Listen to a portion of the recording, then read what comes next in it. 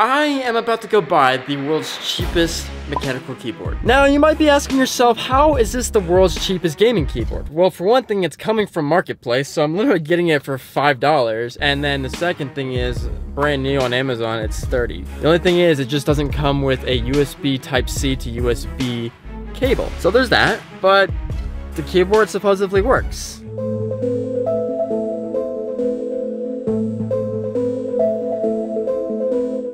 Hey, how you doing? Yeah, my name's Robbie. And since this keyboard was selling for so cheap, I was curious as to why this chick was actually giving it to me for only $5. So I heard the entire backstory, which honestly wasn't even that bad. Basically, her brother had gotten her a newer, more fancy keyboard than what this one was, and then she just decided not to use this one anymore. All right, so this is the keyboard. Looks good, 60% are here pretty good quality, I would say. Just a matter of testing it out now. So, we've made it back, and believe it or not, this keyboard's not actually 60%, more like probably a 65%, or, or lower. Uh, but, as you can see, the only difference is that it actually has the arrow keys physically right here, and then I believe, if I'm kind of eyeballing this correctly, it's just some added keys here, but that's realistically all the difference. Now, it is pretty cool. This is a Magegee keyboard. Again, about 30 bucks on Amazon. But without further ado, we're gonna unplug the Arcade Royal Clutch keyboard and plug in this guy. And I know this was only $5, but this was the ultimate test to see whether or not I got scammed out of $5. This guy in. Oh.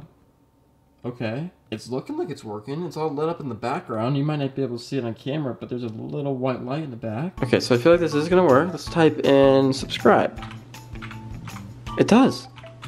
Oh my god. So now that I have officially the world's cheapest mechanical gaming keyboard and it works, it's time to see what key switches are actually underneath these keycaps. It's got some good key switches to them. Oh my god, Cherry MX Red. Holy crap. Dude, I got freaking steel. Look at it. Cherry MX Red. So again, guys, this is why you legitimately don't need a $500 keyboard. This is 30 bucks brand new. Matter of fact, I got it for five bucks. Basically brand new. It's a tad bit bigger than an actual 60 percenter and look at this because it's really dirty. But this works. It's very, very clicky, very loud compared to this one, but this one also put dampeners on there, so that makes sense. But it feels good. And matter of fact, I'm super impressed. You stole my heart of gold after my silver soul. Can you dig any deeper now? Now, I do want to mention that even though I was saying you don't have to spend a bunch of money to get a really decent keyboard, although that is true, there is a reason why you do pay more money for better keyboards. So for instance, like the Higround being at like 160, sometimes more. It's the overall structure of the keyboard. This one may work really well, may seem really nice, but would it last as long as a Higround keyboard? Most likely not. I say that for good reason because obviously when a keyboard is so cheap, more than likely the parts in it are not very durable. And I completely mean that. That goes with any PC tech gear, anything that you see on this table. The price usually reflects the quality of the materials used in building it. Okay, so I bought the world's cheapest mechanical gaming keyboard.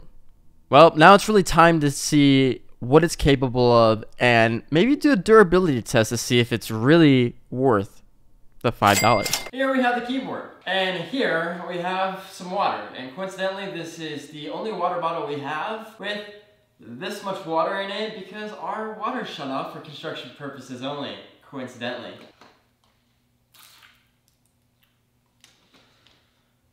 Only missed like half the bottle. Yeah. Yeah, it's soaked.